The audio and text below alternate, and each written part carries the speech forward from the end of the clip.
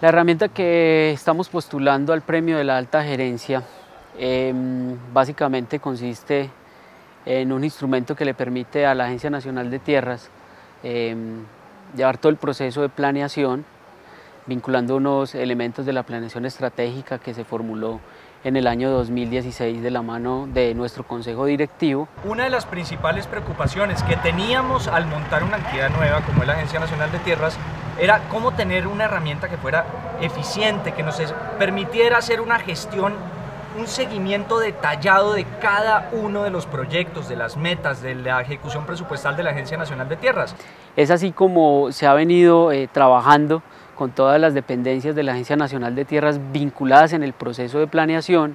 en un instrumento en línea que le permite a las dependencias cargar la información relacionada con su proyecto de inversión plasmar su eh, plan de acción correspondiente a la vigencia 2017 y eh, vinculado directamente con las necesidades que se plasmarán en el plan anual de adquisiciones de la entidad. Por eso es que creamos esta herramienta ajustada a la talla de las necesidades de la Agencia Nacional de Tierras, a la entidad nueva que se estaba creando y especialmente para que la alta gerencia pudiera ver en una herramienta sencilla, ágil, dinámica y de un solo vistazo todos los procesos internos de la entidad para poderle hacer ese seguimiento, hacer las correcciones en los procesos que se requirieran